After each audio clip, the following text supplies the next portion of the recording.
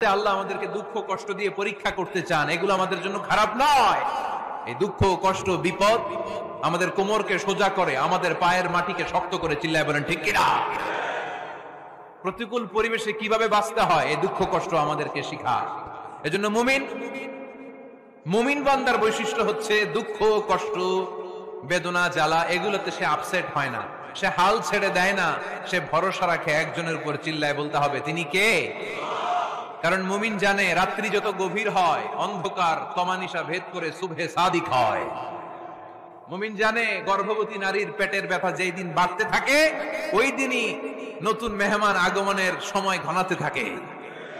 মুমিন জানে, তার জীবনে দুঃখ, কষ্ট, বিপদ যত বাড়তে থাকে, সুখের দিন কাছে আসতে থাকে। এজন্য মুমিনের হারাবার কিছু নেই। ইন্নামা আল উসরি ইউসরা ইন্নামা আল উসরি ইউসরা নবী, হে!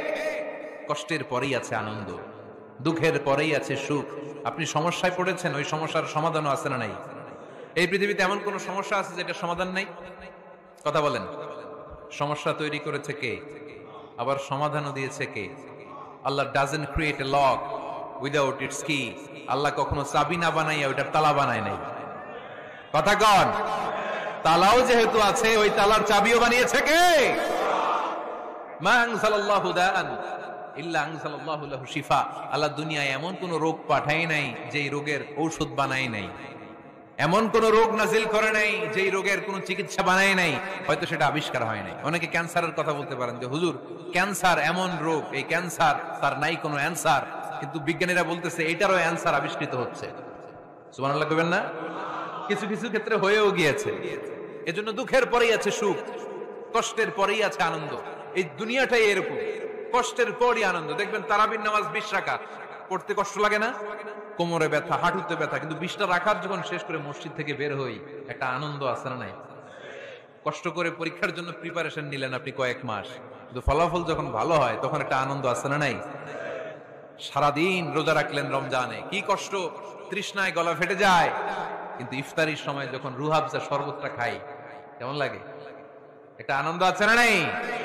এজন্য আল্লাহ বললেন فإن مع العسر يسرا إن مع العسر يسرا ও নবী কষ্টের দিন মক্কায় অল্প কিছু দিন মদিনাতে আনন্দের দিন অপেক্ষা করছে আমাদের জীবনে যদি দুঃখ কষ্ট আসে আমরা ধৈর্য ধরবো তাওয়াক্কুল করবো একজনের উপর তিনি কে কারণ আমরা বিশ্বাস করি কষ্টের দিন এটা চিরকালের জন্য নয় সামনে আনন্দের দিন আমাদের জন্য সেট করে রেখেছে কে বিপদে পড়লে ডাকবো কারে আমাদের অসুস্থতাকে সুস্থতায় পরিণত করে দিতে পারে কে?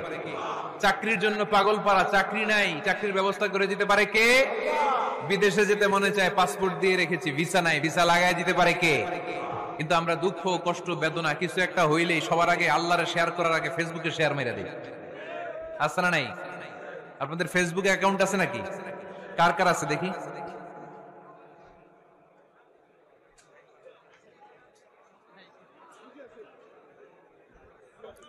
আছে আছে। এটার জন্য আমরা ভালো কাজে লাগাই। ঠিক কিনা? আপনি চাইলেই এমন ভাবে ফেসবুক ফ্রেন্ড লিস্ট করতে পারেন, যারা ভালো ভালো জিনিস শেয়ার করে, যারা মোটিভেশনাল জিনিস শেয়ার করে, ইসলামের পক্ষে কথা বলে। আপনার এক একটা শেয়ারে অনেকের জীবন বেঁচে যেতে পারে, ঠিক কিনা? একজন মুমূর্ষ রোগীকে বাঁচাতে রক্তের প্রয়োজন, রক্তের গ্রুপ এ পজিটিভ যারা রক্ত দান করতে আগ্রহী, তারা এই নাম্বারে যোগাযোগ করুন। ফেসবুকে মাঝে মাঝে এরকম নিউজ আসে না, নাই? আপনি just you put down in share শেয়ারের মধ্যে একটা পুট করে দিলেন। একটু শেয়ার মেরে দিলেন, ছড়িয়ে পড়ল হাজার হাজার ফেসবুক ফ্রেন্ডদের কাছে। তাদের অনেকে ব্লাড দিতে আগ্রহী। সে তাড়াতাড়ি যে সেখানে ব্লাড ডোনেট করে আসলো। আপনার একটা শেয়ারের কারণে বেঁচে গেল অনেকগুলো প্রাণ চিল্লা এখন, ঠিক না রক্তদানের মতো শ্রেষ্ঠ আবাদত হতে পারে। আমরা মনে করি শুধু জিকিরি আবাদত। আমরা মনে করি শুধু নামাজি আবাদত। রক্তদান, এক ব্যাগ রক্ত থেকে অনেক মানুষকে বাঁচানো যায়। এর মধ্যে আছে হিমোগ্লোবিন, এর মধ্যে আছে প্লাটিলেট আছে প্লাজমা। রক্তে একটা উপাদান আছে প্লাজমা। নাম শুনছেন? আগুনে পোড়া রোগীকে বাঁচাতে এই প্লাজমা লাগে। হসপিটালের বার্ন ইউনিটে যেয়ে দেখবেন, মানুষ কীভাবে চিল্লায়। নুসরাত নামে একটা মেয়ে মারা গেল না? এক বদমাইশের কবলে পড়ে। মারা গেল না? তাকে আগুন জ্বালিয়ে দেয়া হয়েছিল তার গায়ে। তার প্লাজমা গুলো জ্বলে গিয়েছিল। আগুনে পোড়া রোগীর যে কি কষ্ট? একটু দেখার জন্য হসপিটালের বার্ন ইউনিটে যাবেন। দেখবেন যে কি কষ্টে আছে তারা। এই প্লাজমা গুলোকে অনেক সেন্টিগ্রেড তাপমাত্রা নামিয়ে ঠান্ডা করে দেহে পুশ করা হয়। আপনার এক ব্যাগ রক্ত থেকে প্লাজমা আলাদা করা হবে, প্লেটলেটস আলাদা করা হবে, হিমোগ্লোবিন আলাদা করা হবে, শ্বেতকণিকা লোহিত কণিকা আলাদা করে অনেকগুলো মানুষ বেঁচে যাবে। এজন্য ফেসবুক থাকাটা দোষের কিছু না, তবে ভালো কাজে আমরা ব্যবহার করব, ঠিক কিনা?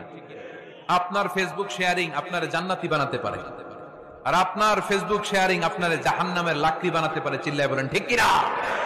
So the decision is yours সিদ্ধান্ত আপনাকে নিতে হবে, আপনি কীভাবে করবেন? যে কোনো বিপদে ওয়াইলা রাব্বিকা ফারগাব। কোন দিকে মনোনিবেশ না করে কার দিকে মনোনিবেশ করব? যে কোনো বিপদ আপদ ফেসবুকে শেয়ার করার আগে শেয়ার করব কার কাছে? আমাদের যার যা লাগে, আল্লাহ সবও যদি দিয়ে দেয়, আল্লাহর ধনভাণ্ডারের এক ইঞ্চিও কমবে। হাদিসে কুৎসিতে আল্লাহ বললেন, লাউ আন্না আউওয়ালাকুম ওয়া আখিরাকুম ওয়া ইনসাকুম ওয়া জিন্নাকুম। পৃথিবীর সব জিন, পৃথিবীর সব মানুষ বিশাল মরুভূমিতে দাঁড়িয়ে যদি আমার কাছে চাইতে শুরু করে, আল্লাহ, এটা দাও, ওটা দাও ওটা দাও। আমি আল্লাহ তোমাদের সব চাহিদাও যদি মিটিয়ে দেই, আমি আল্লাহর ধনভাণ্ডারের এক ইঞ্চিও কমবে না। এজন্য চাইব কার কাছে? বিপদে আপদে ভরসা করব কার কাছে? আর অবসরগুলোকে কাজে লাগানোর দরকার আছে না নাই? স্বাবলম্বী হওয়ার চেষ্টা করার দরকার আছে না নাই? কষ্টের পরেই আছে সুখ, দুঃখের পরেই আছে আনন্দ। মানুষের সময় একরকম কাটে না। আমরা তাওয়াক্কুল করতে চাই একজনের উপর। তিনি কে? বিশ্বনবী বলেন, লিকুল্লি নবীন দাওয়া এ দুনিয়াতে সব নবীদের একটা করে মুস্তাজাবুদ্দাও আছে। আল্লাহ বলেছে, ও নবী, একটা করে স্পেশাল দোয়া করার সুযোগ পাবা। দোয়াটা করা মাত্রই কবুল করে নেব। বিশ্বনবী বললেন, এই পৃথিবীর যত দুনিয়ায় এসেছে, সব নবীরা তাদের স্পেশাল দোয়া দুনিয়ায় করে ফেলেছে। ইল্লা আনা, কিন্তু আমি করি নাই। বিশ্বনবী বললেন, ওয়া ইন্নী আখতাবিউ দাওয়াতি শাফাআতান লি উম্মতি ইয়াউমাল আমি আমার স্পেশাল দোয়াটা করি নাই। আমার স্পেশাল দোয়াটা আমি আমার গুনাহগার উম্মতকে বাঁচানোর জন্য কেয়ামত পর্যন্ত রেখে দিয়েছি। আমরা যেদিন বিপদে পড়ে যাব, যেদিন আমার আব্বা আমারে চিনবে না, আমি আমার আব্বারে চিনব না। নেতা তার কর্মীরে চিনবে না, কর্মী নেতারে চিনবে না, ঠিক কিনা পীর সাহেব মরিদরে চিনবে না, মরিদ পীর সাহেবরে চিনবে না। স্বামী তার স্ত্রীরে চিনবে না, স্ত্রী তার স্বামীরে চিনবে না। নবী থেকে শুরু করে অলি থেকে শুরু করে শাহিদ থেকে শুরু করে সবার মুখে একটাই